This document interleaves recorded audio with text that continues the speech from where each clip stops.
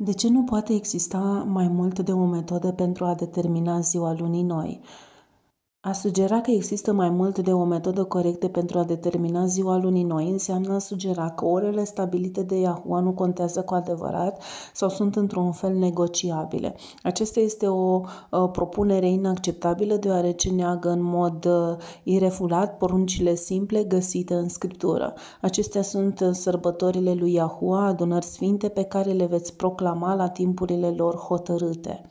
Scriptura aici afirmă clar că zilele sfinte trebuie să fie declarate în timpurile lor hotărâte. Nu este loc de negociere. Leviticul 23 continuă să enumere specificul sărbătorilor lui Yahua începând cu șabatul zilei a șaptea. Există date specifice și sau instrucțiuni date pentru fiecare sărbătoare, datele fiind socotite în funcție de ziua lunii noi. De exemplu, Pesahul trebuie sărbătorit în a 14-a zi a lunii lunare începând din ziua lunii noi.